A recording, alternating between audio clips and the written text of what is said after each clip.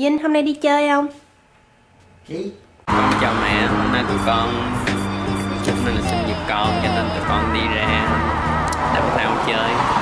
Đi uống trà sữa nhưng mà có thể là đi um, Có thể là đi coi vòng vòng xung quanh khu uh, trung tâm xíu.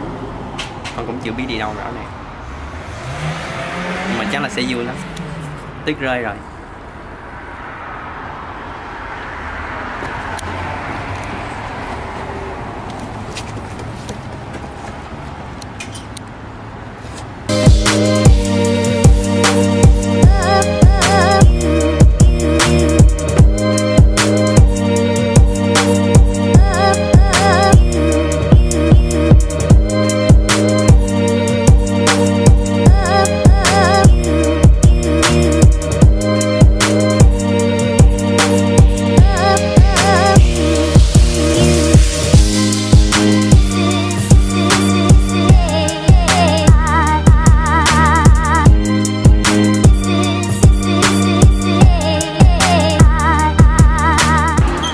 con mua được hoa cụ cho Nguyên.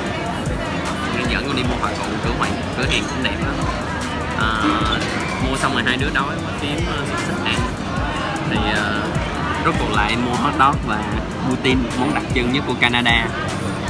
Đây là món poutine uh, sốt bò. Siêu thơm luôn. Hot dog cũng thơm lắm